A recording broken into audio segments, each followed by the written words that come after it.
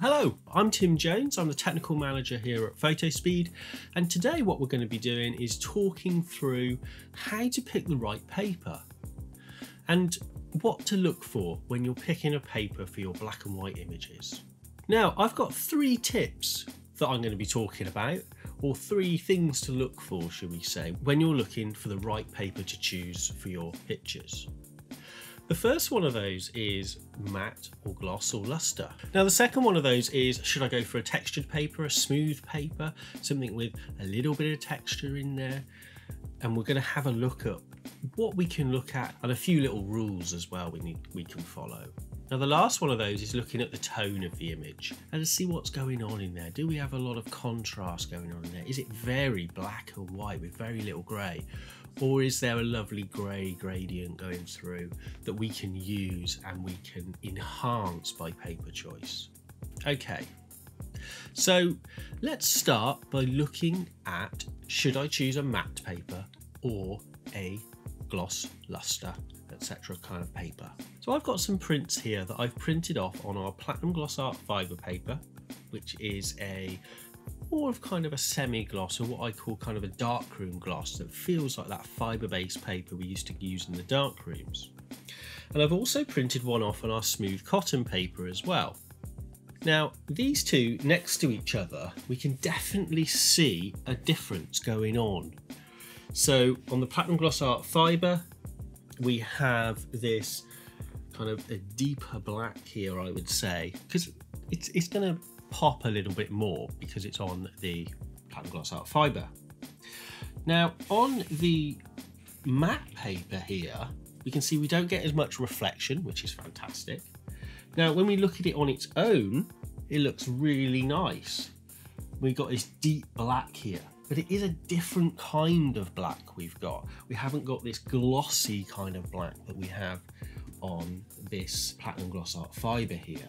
Now with this particular image, there is quite a lot of contrast in it. I'll bring it up on screen so you can see.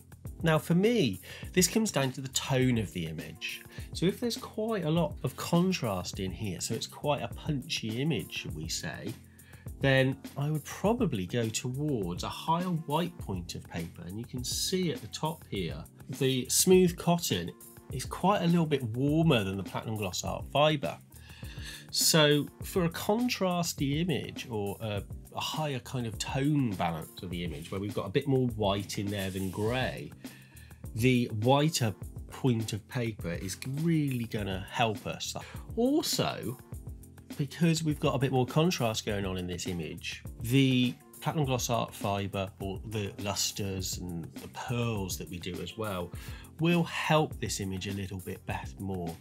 It will just bring things out a little bit more. So my general rule is if it's kind of a little bit more punchy image, a little less grey in there, more black and white with very little kind of grey tone in between, I would probably go towards a higher white point of paper and also more of a semi-gloss feel as well.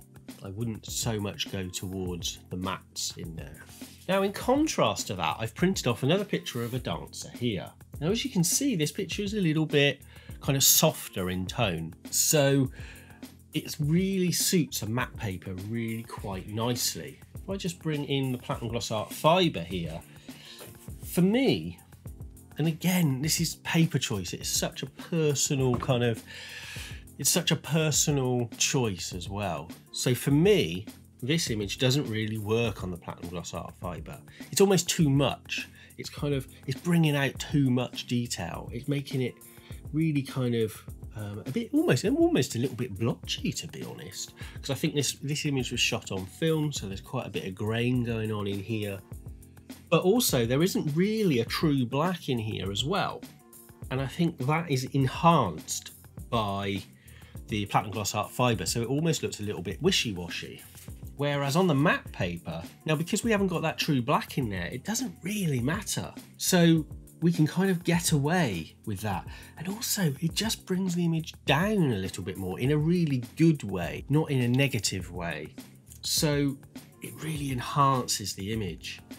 And I think it really suits this kind of scene, shall we say. So a matte paper works really well on subdued tones of images, so a more subdued palette of greys. And we have a black in there and we have a white in there, but it's more gradual, that gradient. So matte papers work really well for that. Okay, so let's look at some paper textures and to see how we can use papers and textured papers to really enhance our pictures. Now, the texture in a paper can be very subtle, like the difference between a Baryta print and a Platinum Gloss Art Fibre print, whereas Baryta is a very smooth paper, like a pearl kind of finish, whereas the Platinum Gloss Art Fibre has that tiny little bit of texture in there that can just bring out the print. I have to say, if I was going to pick between the two, I'd always go for the Platinum Gloss Art Fibre personally, and that's my personal kind of choice. Now, the Baryta is a fabulous paper, and I do use it quite a lot, but my go-to, I would say, is the Platinum Gloss Art Fibre, just because it's that just a little bit higher white point, and also it just feels like that darkroom paper for me. That's the only reason. Now I've got some matte papers here. This is where textures can really kind of come into their own. So I've got a picture here printed on the cotton etching, a portrait picture. Now, I've done this for a reason, printed a portrait on here, because one of my rules is generally not to print a portrait image on a textured paper. Now this is because just in this detail here around by the face and in the shoulder here, the skin has started to look quite mottled and kind of blotchy. So it's not very flattering um, on a textured paper. Now the other paper I've printed this on is a platinum matte, which is a very smooth high white point type paper, so really suits the image, but the skin is a lot smoother and it has also helped us kind of smooth the skin out a little bit.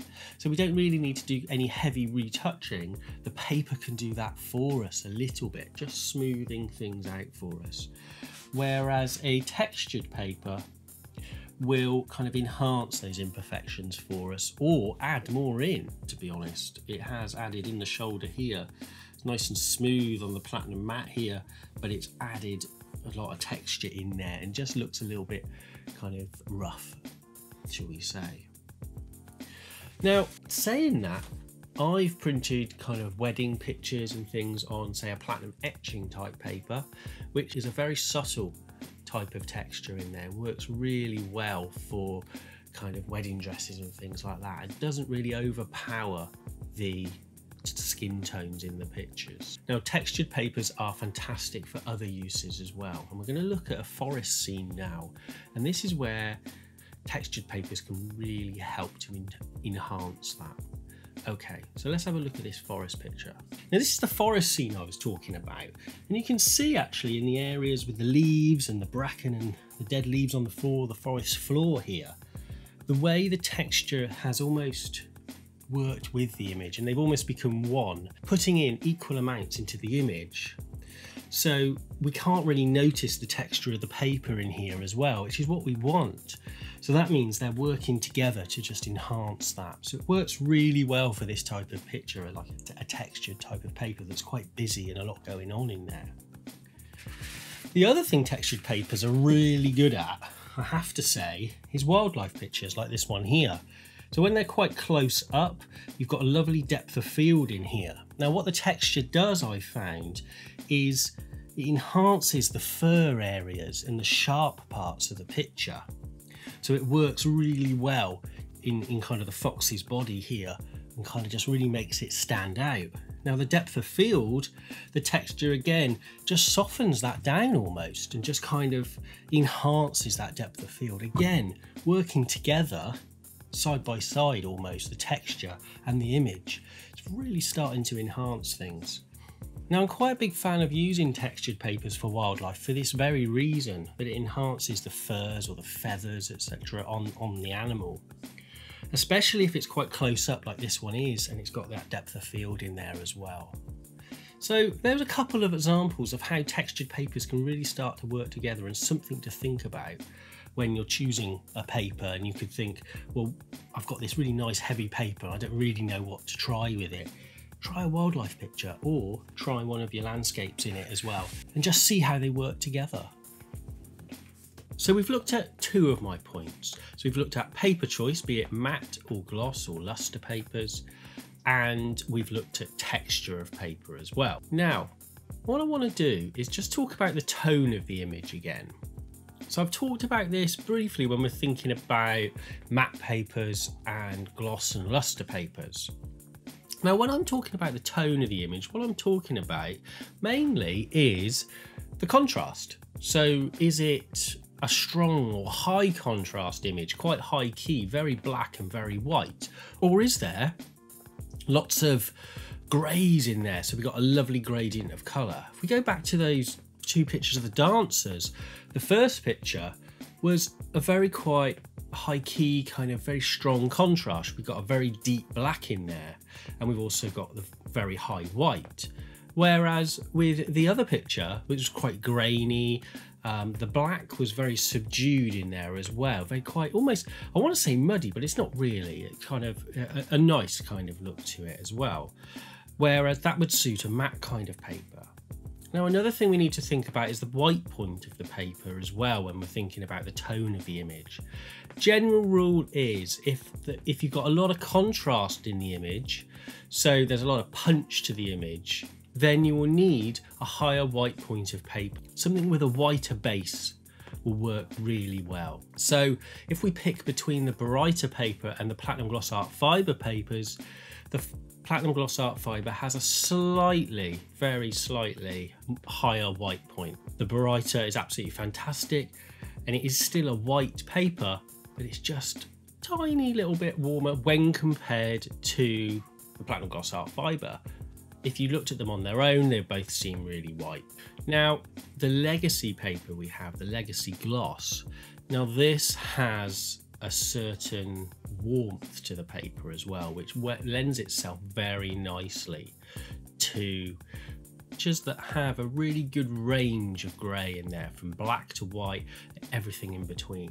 Works really well, but it is quite a warm paper, so it reminds me of the old darkroom papers of kind of the Ilford warm tone kind of paper. So you do have to be quite careful what you use it on and what subjects. Really good for um, like forest pictures and landscapes and things like that. It looks fantastic in that. Okay, well, I hope that's been useful and I hope that's been useful to kind of talk through my thought process when I'm choosing paper types and what I look for when I'm printing black and white images and printing them onto certain papers as well. This is my kind of thought process, and other people may have other ideas around paper choice and certain rules they put in place and things like that. There's there's no right or wrong answer with this. Paper choice is such a personal part of photography that there's no real right or wrong. It's almost the same as someone producing uh, pictures shot on a Canon and one shot on a Nikon. They both produce amazing pictures and are just fabulous, but for that person, they just like the feel and the way that camera works, the Canon camera works over the Nikon camera or the Sony camera. Same with paper choice. When you're printing your image, you may like it on a really nice high gloss picture, but someone else might go, oh, actually, oh, that would look really nice on a mat. And that is, I think that's the most wonderful thing about photography, that it never gets boring because everyone's different and we all have a different view on it as well. And I think that's what makes it such an amazing kind of vocation, shall we say. Okay. Any questions, as always, just drop me an email or give us a call at Fotospeed. And also, don't forget to subscribe to the channel if you're not already subscribed, and also click the bell to get your notifications of when videos are dropping as well. So, I really look forward to seeing some amazing prints, um, and I will catch you all next time. Bye bye.